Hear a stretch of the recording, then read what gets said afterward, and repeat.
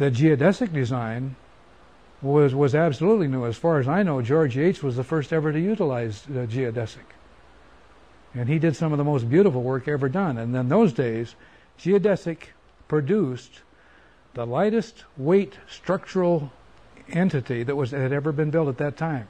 In other words, it had the lowest weight for the greatest strength values ever produced by anyone anywhere. Now, this was all done without engineers. The ships were uh, behaved beautifully. They had no no bad flight characteristics uh, that that I know of at all. In fact, on an all-around airplane, I think that Yates's geodesic airplane was years and years ahead of itself. And the Steiper, by the way, is the airplane at which Yates built, had a Martin four-cylinder, 120 horsepower engine, and this is the plane he used to teach several of us to fly. And in fact, there was three three people involved in the training program that I was involved in at the time I worked with him. There was Gilbert and Buswell and Pulsifer who all learned to fly that same spring, and we used to have quite a contest. Mm-hmm. And Yates made it possible.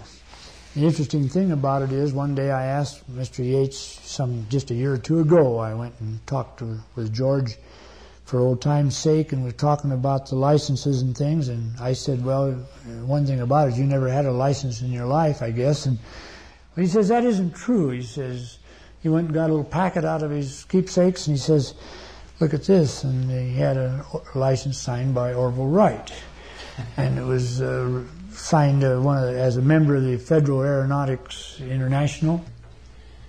The Steifer, that just flew all the time. It did have a metal prop, which was really nice to have. Most propellers were wooden. And uh, it also had four exhaust stacks. It was an inverted Martin engine in it, four cylinder. The four exhaust stacks pointed straight down. When that fl- thing would fly over, it really did roar. It was a loud airplane, very loud.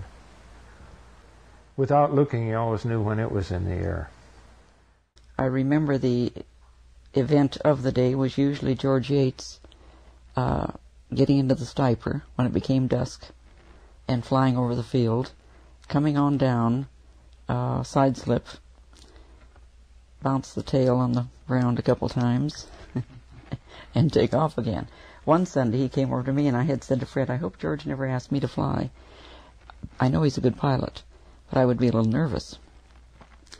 So sure enough, here came George one Sunday evening, threw me the helmet, and said, Come on, Mark, we're going flying. Uh, when we got up, he said, It's all yours. And of course, I'd never flown. I guess I did a pretty good job because we're still here. But uh, he did come down, he did side slip, and uh, on up, which was really a thrill. Did you fly with George Yates again? Yes, yes. And we had a lot of fun here. I don't know of anything that's any more fun. Everything's geodetic now, as far as I'm concerned. Geodetic gives you what you need right now, see? Mm-hmm. And we didn't have any uh, failures in it.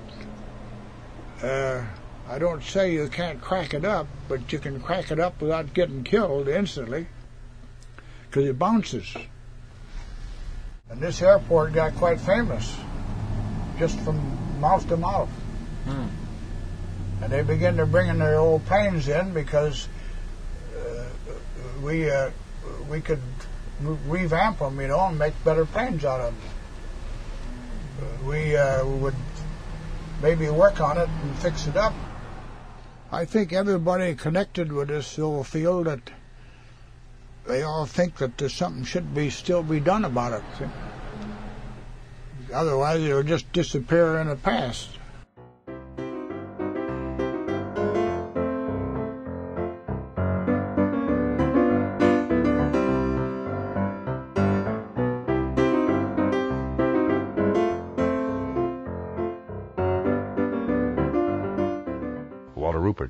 He'd taken feet off of the wings and put a nine-cylinder Thompson just a beautiful sounding engine, you know, with the power and and the sound of that little sewing machine engine. It it just was a beautiful thing to fly. Yes, the original Heath was a wire braced fuselage. That is, in between the bays, it was diagonally braced with wire. And he came up with a infinitely better and more practical fuselage. He was one of the first to have a door on the sides. He was the first one to use Frise type ailerons. and he was the first that I know of ever to use brakes. He machined out his own drums and, and installed the whole doggone works, and they worked right off the bat. In the latter part of the 30s, the Northwest had a uh, gathering every year of home builders, and one of the big things was altitude. A sealed barograph would be placed aboard, and you would climb until you couldn't climb no more. He ran, he won that altitude contest three years consecutive. Mm, I got up over 18,000 feet with a 40 horse engine. No oxygen. I couldn't spell oxygen those days. We didn't know what oxygen was. I did notice he got forgetful. He got forgetful for. Got to thinking, what in the heck am I doing up here? And then I like to froze to death. I had a little drop of water froze on the bottom of my nose. I had a red spot there for years afterward. Oh, it was cold up there. I don't remember how long it took me to get there. I know it took a long time to get down. Because it hurts your ears. I think it took me 45 minutes to get up there. You know, I put a lot of responsibility on Walt Ruber. First of all, I knew him for a long while. And he was down there in the shop.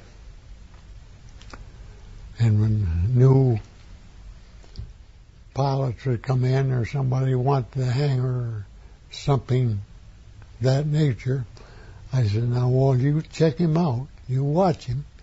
If he's not capable of getting into a small field or getting into this place, or he's a screwball, why we haven't we will not have a hangar.